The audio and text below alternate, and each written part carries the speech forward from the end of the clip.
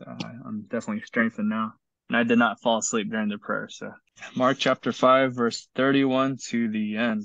Uh, background, we, because we went over that on Saturday, we don't have to. The beginning of the gospel, Jesus Christ, the Son of God, the Son of Man, came not to be served, but to serve and to give his life as a ransom for many.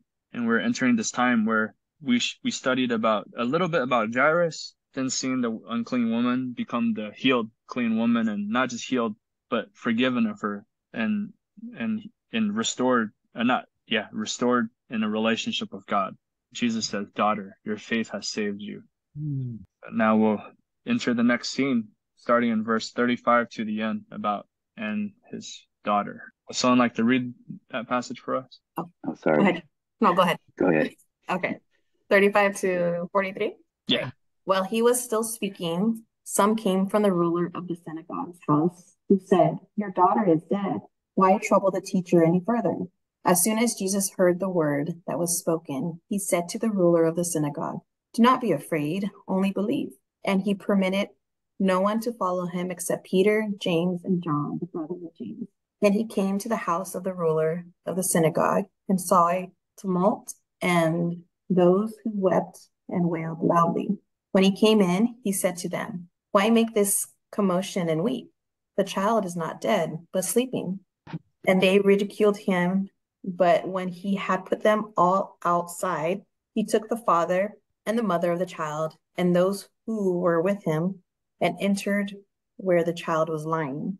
Then he took the child by the hand and said to her, which mm-hmm. is translated, Little girl, I say to you, arise. Immediately the girl arose and walked, for she was twelve years of age, and they were overcome with great amazement. But he commanded them strictly that no one should know it, and said that something should be given to her, given her to eat. Remember Boyle, background. Now let's enter the observation stage, starting in verse 35. It's pretty profound. While reading it this morning, I saw things that I never saw before. So it's rich. Every time we look at God's word, we see something new. What do you see in verse 20, 35? It, uh, somebody said, came. Oh, I'm sorry.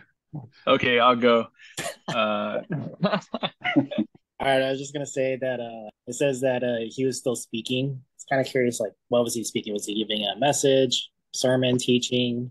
Just on that idea, you know, like we know that um, there's a sense of urgency when the uh, official is saying his daughter's mm-hmm. at the mm. point of death, but it didn't seem, you know, like Jesus was in a particular hurry. You know, being stopped mm-hmm. with the uh, the woman in the previous passage with the hemorrhage, and you know he has a purpose for everything. Very good. What was he speaking? That's the question. Uh, so while he was speaking, someone came from the ruler of the synagogue and and synagogue's house who said your daughter is dead.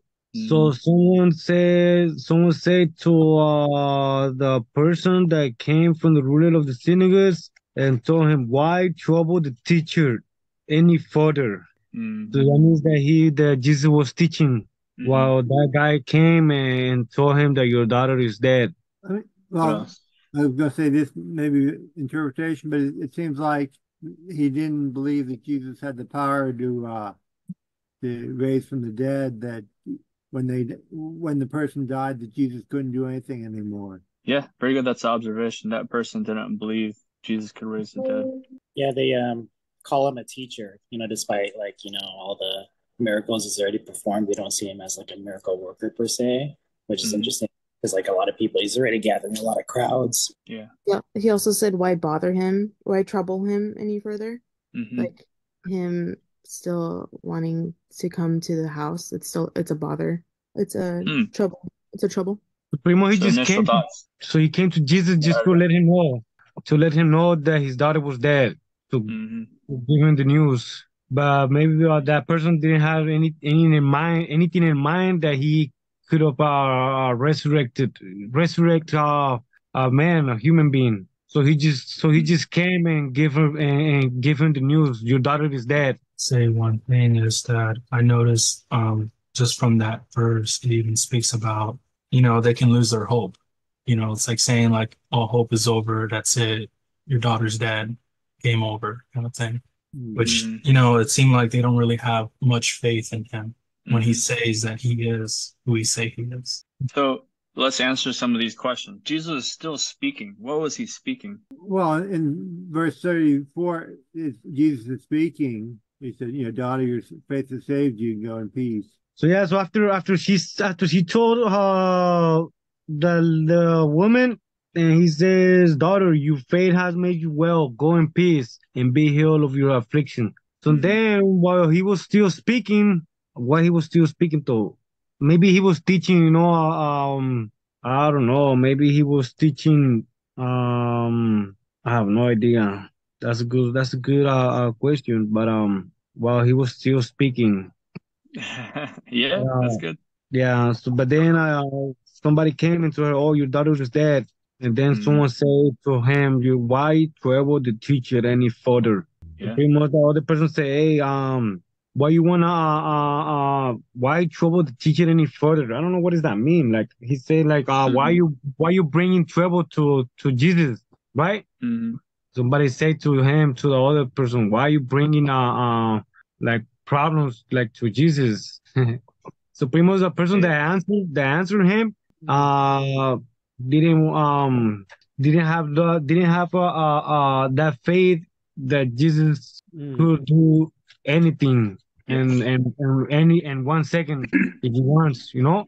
Yeah, and reading this in the Greek today, it was much more obvious. It was saying they came from seeing that your Bible, the house of is actually in italics. It's not there in the original language. So they came from the synagogue official. It was like when I read, it, I was like kind of weird. The synagogue official's here, but they came from the synagogue official. What does that mean? It shows you how close this person is probably a family or a servant from his house that is so closely identified with him.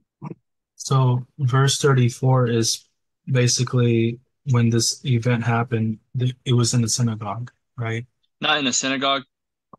By the sea. Oh, by it. Okay. It could be by the sea. I mean, uh, Jairus's house might not have been along the sea, so where he was by the sea, but they're walking towards Jairus's house. Think about Jairus. Think about his context, who he is. So, what would his house be? What would the people around him be? How's their relationship to Jesus? There's more behind that question. Why trouble the teacher anymore? Let's think about that. What is the guy saying? Yes, and they're questioning his authority. Like, someone said they don't believe he, he can just saying. Yeah. So pretty much, uh, he was like, uh, he's saying why, saying, why bother him? Yeah. Yeah. Sorry. Then you, you, uh, you took my the word out of my mind, man. but what does that mean? We're talking about what is it? So... Is this the first story? My voice is really not good right now. okay, so okay. is this the first story where Jesus rose someone from the dead? Mm, very good. Good observation. Yes. I think um the question why bother the teacher anymore speaks a lot of this your daughter is already dead. There's nothing that this teacher can do because he's just mm-hmm. healing people around and he hasn't rose someone from the dead. So if this is the first story that we're mm-hmm. in Jesus really like rose someone from the dead then it's very new to them you know? I don't know if you get it. Yeah, i was thinking the same thing Kim. i was going to ask the same thing. Yeah. Okay. What else remember the stigma that would come from seeking Jesus' help. So this could also be an attempt by the person to protect Jairus, like don't associate with Jesus. I mean, there's no more reason to cause more problem by bringing him over. And even if he doesn't raise your daughter, now you're gonna be associated with Jesus and lose everything else. Yeah, bring of the bad news, and uh, this person doesn't believe that Jesus can do anything. Uh, like most people, no one's ever raised someone from the dead in this time period. So I mean, it's really remarkable to see that people don't really have the faith and the hope in Him because you know it's remarkable that even in the Old Testament, what's his name, Elijah. I don't know if you remember the story of Elijah where he actually raised. I don't know if it's like he raised a child from the dead, but like he was sick. Yeah. And he, he did something and it miraculously, you know, the boy came to life. You know, that was like mm. a first sign of like a miracle that actually happened. And yeah. you know, when Jesus came and walked among us, you know, it's it's remarkable knowing that he's performing miracles and yet they forget.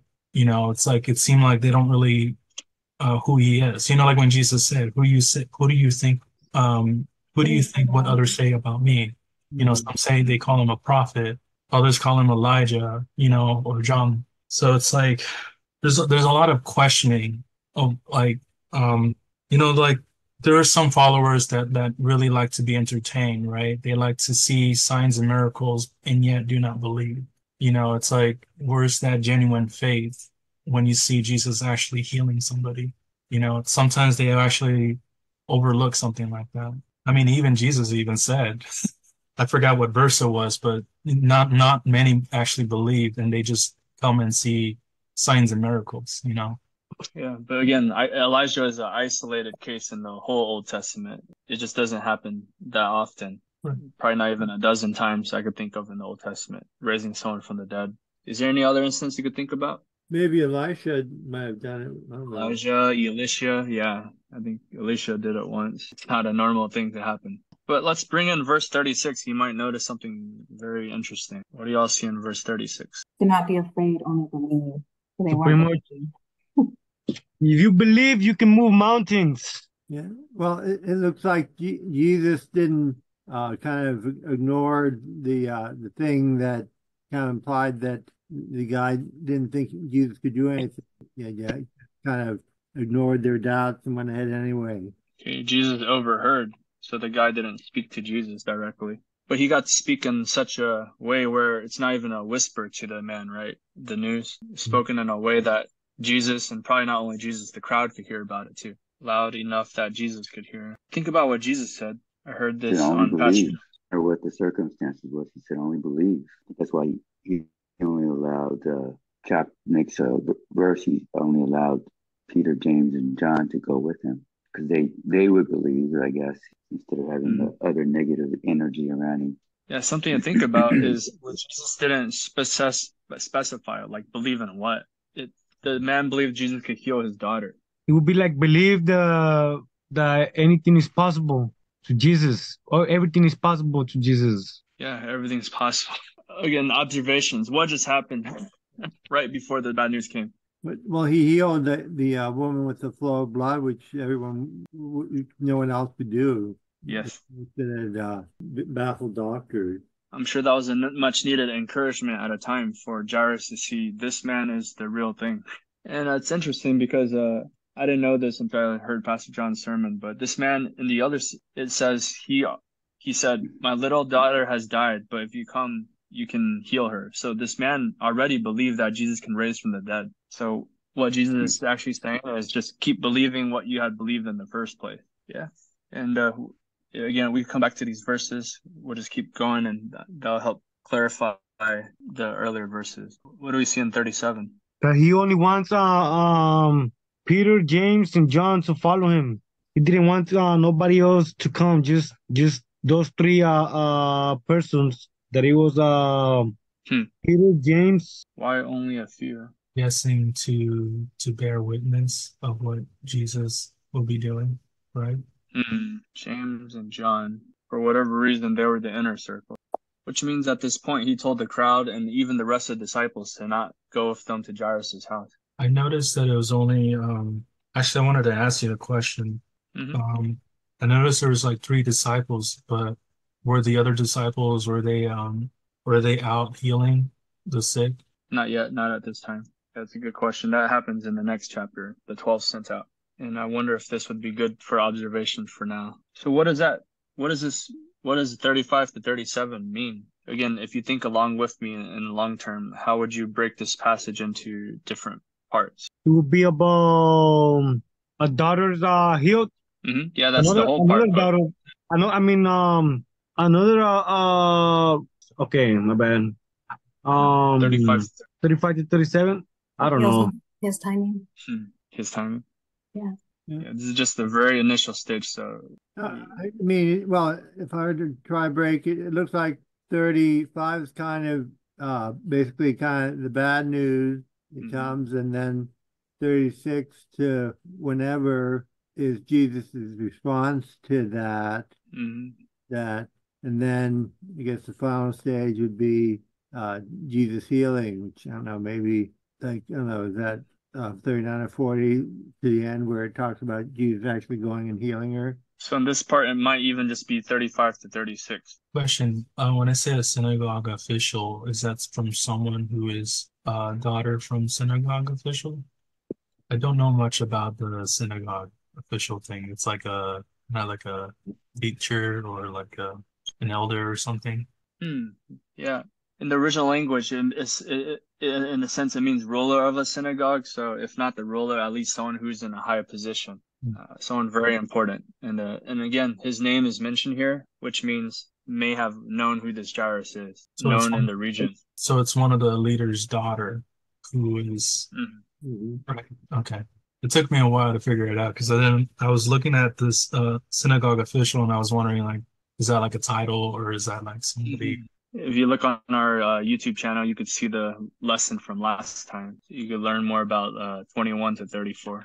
Okay, I wrote his timing, the bad news, and usually it helps using words that are already there in the verse. Like you're not trying to make up a new word. If you could use something that's already there, that would help. I think a key white might be why trouble the teacher anymore.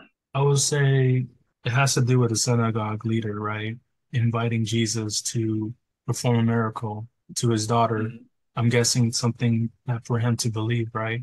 Because like yeah. it seems like he's inviting him he's inviting him because he knows that his daughter isn't isn't either well or simply that you know he loves his daughter right yes 35 36 what does this mean for the original audience what does it show us about jesus? Again the christians are under persecution. They're also in discouraging times. So what is this? A reminder to not be afraid to believe. Hmm. yeah. Why not be afraid? Well, uh, Jesus has the power of God, so there's nothing he, he cannot do. So does it mean to the original audience, oh, Jesus can raise the dead people in my life too? is is it is is do the original audience apply this by saying, hmm, don't be afraid. My daughter just died and I believe Jesus can raise her from the dead. Is that what it means to the original audience? No. Yeah. No, because, I, I uh, possibility because, there, but it's depending mm-hmm. on what what God is trying to demonstrate to people, mm-hmm. what He's trying to teach to the people. It's because like when the when you got the, the bad news, well, your daughter's dead. Don't bug, don't let's not bother him anymore. And as you said, he's trying to whoever it is that was giving him the news was mm-hmm. yeah trying to tell him, okay, so this is your time. You can get out of this. You don't have to further um, embarrass yourself with Christ. You can kind of like let go and then go on away, and that way you, you save face. And then Jesus yep. overhears it and basically says, just believe, continue to believe. Wow. Yeah, you're right. That's it right there. Trust in Jesus. Yeah. Difficult trials. Supremo, Jesus That's... is telling them, just trust me. Yeah, just trust me. Not, just believe in me. And it might not necessarily mean I'm going to raise your dead relative. Mm. Doesn't happen today, but we can trust in him even in the trials. We can trust in him. They think about these Christians who are being persecuted. They some of them may be former Jews and their families telling them, "Hey, you've already gone through so much suffering for no reason. Like, why, why, why do this Christianity thing anymore? Come back to Judaism or to the Gentile. Come back to being a citizen of Rome, where all you have to do is what bow to the emperor, and everything will be fine. You can go back to your normal life again. Go through all this trouble with this Jesus." Hey, but how you can trust someone when you never have uh, uh gone through trials before? You know? Okay. Uh, can you explain that? It's like, for example, uh, uh, uh, if I have never seen, if I had never gone through suffering or, or, or pain, and uh, and someone tell me just trust them, you know, and I'm like, but but I, but I never have never went through that, you know, like I mean, so it's, it's hard. It's gonna be hard. It's not just just to say by saying it, you know. It's like you know, uh, because when you're going through hard times, it's you know, it's it's hard to uh to just to trust, you know, mm. because a lot of worries, a lot of fears, you know, but um, especially like that you never have experience experience something something uh, like that of what you're going through, you know. But uh, it's good that uh the the the that's why God left us this word in here, so we can prepare ourselves, so we can uh, uh learn from Him and uh mm. and grow grow in Him, and uh and because of those reasons, we're gonna trust Him because we know yeah. him. We have we grown uh, we grown uh, we grown a relationship with him. But imagine if we don't know if we don't know the word and we don't know him, and somebody tell you just trust him. How are you gonna trust someone when you don't know know him? You know what I mean? Yeah, you have to get to know him. That's very true. You can't just say trust in Jesus, and people are like, "What does that mean?" Yeah, you can, you can replace Jesus with any other name. But then also remember, uh, uh okay, yesterday they asked a question to John MacArthur, right? and they asked him about oh that there's gonna be uh, false teachers and false prophets and that they they, they will not they want they they would uh uh trying to deceive the elect ones. Then John MacArthur answered, well, he answered biblical uh, verse from the Bible, and he and he told him, uh, well, um, their uh, their voice, um, and he will follow him. You know, mm-hmm. I forgot the verses, but uh, so pretty much, if I know who's my master, I will follow his voice. I know that I know the truth. You know, I know the truth because because he put he already put that in, the, in me. You know, so so it just it just you know like since I was a little kid, me without knowing, like I already knew where to go when I was in trouble. hmm Yeah. Yeah. You gave us a very good application to leave with. It's getting close to nine. But trust in Jesus and not just like a blind faith where Jesus isn't telling him to believe like without knowing anything, but he just showed this man, look, I just, uh, this woman was healed and not only healed, but made clean, restored in her relationship with God. You can trust me too. I'm in control. So for us to get to know him and how his words right here, get to know him and his word. Any other thoughts or mm. questions? I would say um, Jesus has the final words for in everything and for everything. The people did not believe that um, there's hope, just like what Jaime is that how I pronounce your name, Jaime? Yeah. So even though um, people are hopeless with the situation, it's Jesus who has the final answer in everything. And if I, I don't know if you guys see it, but I can see the also the here from here the story of how Jesus raised up Lazarus from the death it has the same same picture to me because I guess I think Mara and Ma- Mary and Martha also said to Jesus that if you could only come at the right time, you will believe. Mm-hmm. And then Jesus said, mm. believe. And that's when he mentioned about I am the life, you know, I'm the one's giving the life. I'm the life mm. so resurrection and life. So I guess that's that's for us to remember that Jesus always has the final words in everything. Yeah, it shows even in the last book in the Bible that in the end we will all be mm-hmm. in the kingdom of God. We will just worship Him. So um, I guess that's that gives us a lot of encouragement today. That whatever we're facing, it's temporary, and we're gonna, mm. yeah, worship Him. Yeah, mm-hmm. and He's still He's still gonna help us. You know, He's still gonna help us even when, when we're down and uh and uh and he's still like he's just as you know, uh, it's only take uh, um, just a little bit of faith, you know, just a little bit of faith, and I believe, and He will do the rest. He will, He will, He will, He will take you out of the, the, you know, uh, the those difficult times. That He will, He will, uh, He will lift you up, you know, and take you out of the the the misery. Yeah, or if He doesn't take you out of the trial, He will encourage you to mm-hmm. keep you going through the trial. Yeah. He gave yes. the mm-hmm. goal with the unclean woman at just the right time. Uh, yes. Imagine if the miracle didn't happen before the news came. That could have been a different story. After the bad news came, do not be afraid, only believe. Jesus mm-hmm. continues to sustain. Yeah, the one thing I learned is that hope is like a, a strong connection, you know?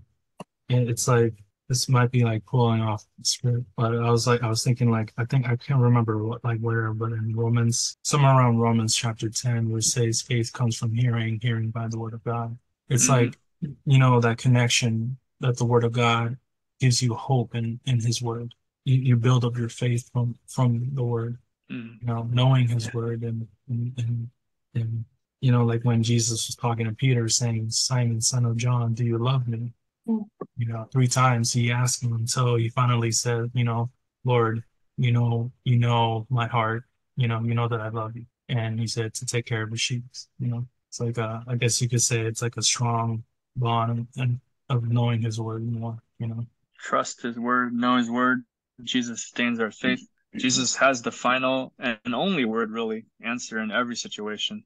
Could someone else close us in prayer to help us apply what we learned today? I will. No one else will. Thank you for your power, Lord, that there's nothing that's beyond your ability, that you always have the final word, and that you are a merciful and compassionate high priest, and you want us to come to you with our petitions, Lord, and help us to come boldly before your throne and to you for grace in times of trouble, Lord. And thank you and pray you a good night's rest. For in Christ's name we pray. Amen. Well, it's a Monday, so I need to get going earlier, but